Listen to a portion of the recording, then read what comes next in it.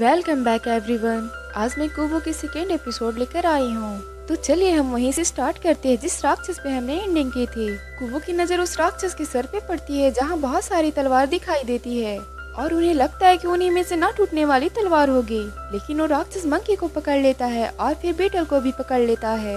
वो उस राक्षस के सर पे जा गिरता है और वो एक एक करके सभी तलवार को निकाल कर तोड़ने लगता है। राक्षस वो दोनों को खाने की कोशिश करता है, लेकिन तभी को वो ना टूटने वाली तलवार को निकाल लेता है। और वो राक्षस फिर से मर जाता है। पीटल उड़कर उन सभी को बचाकर बाहर ले आता है। बाहर मंकी और पीटल इस बात के लिए लड़ने लग जाते हैं कि हम नदी पार कैसे करेंगे और उन्हें कोई आइडिया नहीं मिल रहा था और शाम भी होने लगी थी। लेकिन कुबो वहाँ बैठा गिटार बजा रहा होता है कि तभी एक पत्ते को देखकर आइडिया आता है और वो अपनी मैजिक की मदद से सारे पत्ते और लकड़ियों को जोड़कर एक बड़ा सा बोर्ड बना देता है।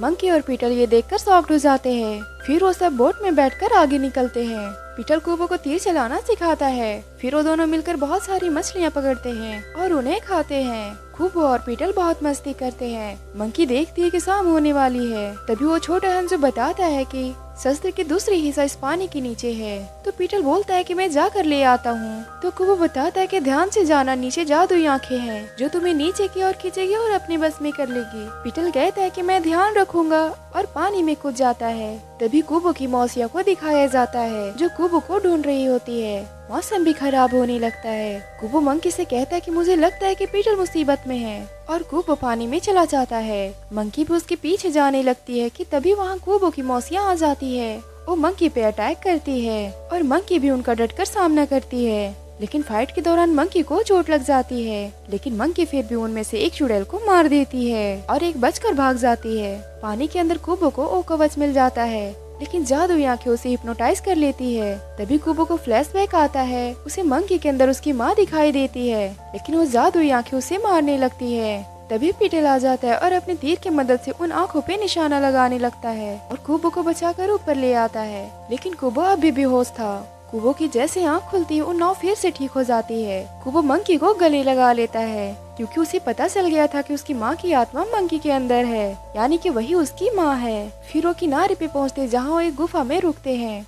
फिर कुबो मंकी से, यानी अपनी माँ से कहानी सुनाने को कहता है कि आप मेरे पिता से कैसे मिली थी? मंकी बताती है कि तुम्हारे नाना, यानी कि मुन किंग ने बताया था कि जो भी उस हथियार के तीनों हिस्सों को हासिल कर लेगा, वो शक्तिशाली हो जाएगा और वो हमारे लिए खतरनाक बन जाएगा। उस रात हंजो को मारने के लिए अपनी बहनों से पहले ही मंदिर पहुँच गई थी और हंजो भी वहीं था। और फिर उन दोनों में लड़ाई होने लग गई। हंजो भी कम शक्तिशाली नहीं था, लेकिन फिर वो रुक गया था और मेरी आँखों में देखने लगा। आँखों ही आँखों में हम दोनों को एक दूसरे से प्यार हो गया और फिर तुम पैदा हो गए। फिर भी तुम्हारे नाना ने हमें ढूंढ लिया। मेरे धोखे की वजह से तुम्हारे नाना बहुत गुस्सा हो गए और हम सब पर हमला करने लगे। तुम्हारे पिता और उनके सैनिक ने हमें बचाते बचाते अपनी जान दे दी और फिर मैं तुम्हें लेकर वहाँ से निकल गई। फिर कुबा अपनी माँ से पूछता है कि मेरे नाना मुझसे इतनी नफरत क्यों करते हैं? उसकी माँ बताती है कि वो तुमसे नफरत नहीं करते हैं, लेकिन वो तुम्हें इंसानों की तरह कठोर बनाना चाहते हैं। जैसे कि पहले मैं थी। फिर कुबो कहता है कि मैं कभी भी उन जैसा नहीं बनूँगा। कुबो और सब सो जाते हैं। कुबो का सपना आता है जिसमें एक बूढ़े आदमी को देखता है और वो बताते हैं कि अस्त्र के अंतिम भाग हेलमेट तुम्हें तुम्हारे पिता के घर में मिलेगा। तुम्हें बस सुबह होते ही सूर्य का पीछा करना है और तुम वहाँ पहुँच जाओगे। कुबो की आँख खुल जाती है। कुबो बहुत खुश होता है। फिर वो मंकी और पीटर को उठाता है। और बताता है कि अस्त्र के अंतिम भाग हेलमेट कहाँ है? फिर वो तीनों सूर्य को देखते हुए आगे बढ़ते हैं। रास्ते में उन्हें गोल्डन हिरन बेड दिखाई देते हैं। मंकी बताती है कि वो मरे हुए लोगों की आत्मा लेकर जाते हैं, जहाँ उन्हें जाना होता है, और बताती है कि हमारा कभी अंत नहीं होता है। बस हम बदलते रहते, कभी जानवर बनते हैं तो कभी कुछ। हमारा कभी अंत नहीं होता। वो हंसो के घर तक पहुँच जाते हैं। लेकिन अब रात हो चुकी थी। वो अंदर जाते हैं जहाँ सब चीज़ तबाह हो चुकी थी। पीटर को भी वो जगह याद आने लग जाती है। उन्हें वहाँ सब जगहों की तस्वीर मिलती है, जहाँ से वो अस्त्र के भाग मिले थे। कुबो उस जगह को देखते देखते बाहर निकल जाता है। तभी मंकी को वहाँ एक पेपर मिलता है, जिसमें उसे हेलमेट के बारे में बताया गया था कि वो हेलमेट कहाँ है। तभी मंकी समझ आती है कि कुबो की सपना मुमकिन की चाल थी हमें यहाँ तक लाने के लिए। कुबो को जादुई बल पकड़ लेती है। मंकी और पीटल कुबो को बचाने की कोशिश करते हैं, लेकिन उन्हें भी पकड़ लेते हैं। फिर कुबो की मौसी वहाँ आती है। और वो मंकी को बताती है कि पीटल ही हंजो है। और वो कुबो की आँख निकालने लगती है कि तभी कुबो उसके ऊपर हमला कर देता है और मंकी उसके पकड़ से आज़ाद हो जाती है। वो उस चुड़ैल को मारने लगती है, लेकिन वो चुड़ैल मंकी के जख्म पर ही हमला कर देती है, जिससे मंकी और भी ज़्यादा घायल हो जाती है। वो चुड़ैल कुबो की माँ को मारने ही लगती है कि तभी वहाँ हंजो आकर उस पर हमला कर देता है और वो दूर जाकर गिरती है। कुबो बहुत खुश होता है क्योंकि उसके पिता मिल गए थे। उसकी माँ हंजो से कहती है इसकी हिफाजत करना। हंजो वादा करता है कि मैं इसका ख्याल रखूँगा। तभी वो चुड़ैल आकर हंजो पर पीछे से हमला कर देती है और उसे मार देती है। कुबो की माँ कुबो को वहाँ से जाने को कहती है।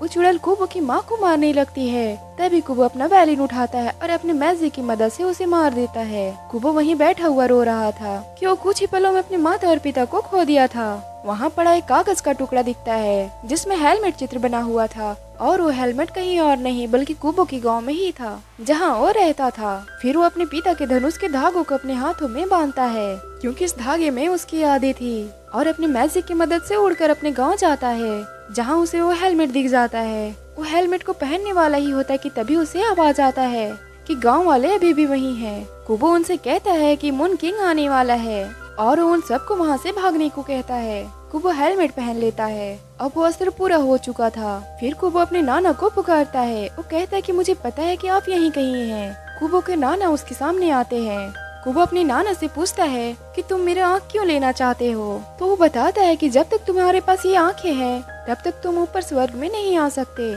जहाँ मैं रहता हूँ, और तुम इसी नर्क में फंसे रहोगे, और अपनी आँख से देखते रहोगे दर्द को और मौत को। इसलिए मैं जहाँ ले जाना चाहता हूँ, वहाँ ऐसी कोई चीज़ नहीं है। वहाँ बस तुम हमारे साथ रहोगे, और अमन हो जाओगे। कुबो कहता है कि तुम गलत हो, और सभी कहानियों का एक अंत होता है, और मैं तुम्हें मार डालूँगा, और इस कहानी का अंत कर दूँगा। फिर कुबो के नाना कहते हैं कि अगर यही चाहते हो तो लड़ो मुझसे। उसके नाना बहुत खतरनाक ड्रैगन में चेंज हो जाते हैं। वो कुबो पर हमला करते हैं। कुबो भी अपनी तलवार से उन पर हमला करता है। कुबो अपने तलवार से उसकी एक आँख फोड़ देता है।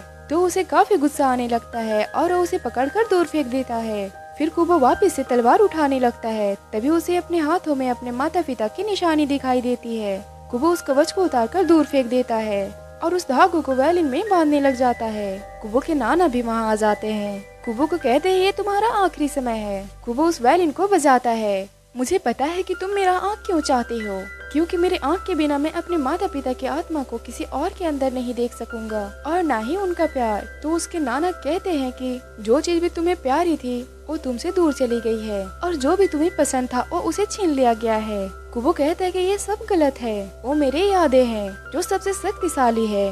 वो अपने वैलिन बजाता है, जिससे सारे लैंप में से आत्मा निकलने लगती है। और वो कुबो के पास आती है। गाँव के लोग भी ये सब देख रहे होते हैं। कुबो कहता है कि यादें हमें बहुत शक्तिशाली बनाता है, जो तुम नहीं हो। ये सब उनकी यादें हैं जिन्हें हमने खोया है, और हम इनकी कहानी अपने दिल में रखते हैं तो तुम हमसे उन्हें कभी छीन नहीं पाओगे। और कुबो अपने मैजिक की मदद से एक कवच बना लेता है। कुबो के नाना उन पर हमला करते हैं, लेकिन उस कवच को तोड़ नहीं पाते हैं। तो फिर कुबो अपने यादों और मैजिक की मदद से नाना को मार देता है, जिससे वो अब इंसानी रूप में आ जाता है। लेकिन उन्हें कुछ भी याद नहीं होता। तो कुबो उन्हें बताता है कि आप मेरे नाना जी हैं। वो सब गाँव वाले उसे बताते हैं कि तुम बहुत अच्छे इंसान हो, और वो सब बहुत खुश होते हैं। और इसी के साथ हमारी मूवी की हैप्पी एंडिंग हो जाती है। तो गैस अगर आपको हमारी वीडियो पसंद आई हो तो इस चैनल को सब्सक्राइब करें और वीडियो को लाइक करें। Thanks for watching